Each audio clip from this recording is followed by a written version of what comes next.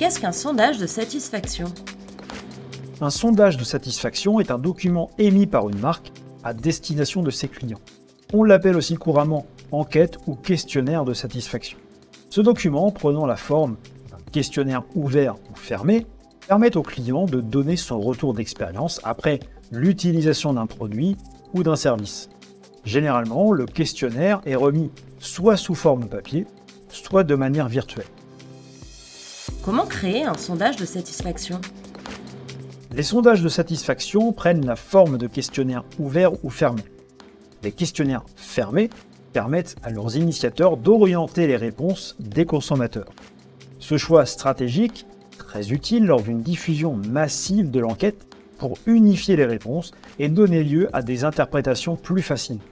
Les questionnaires ouverts, quant à eux, laissent le client répondre librement à une question ouverte. Ces questions sont donc formulées dans le but de recevoir une réponse détaillée et personnalisée de la part du consommateur. Cette technique est intéressante dans le cadre d'une enquête dédiée à une clientèle privilégiée.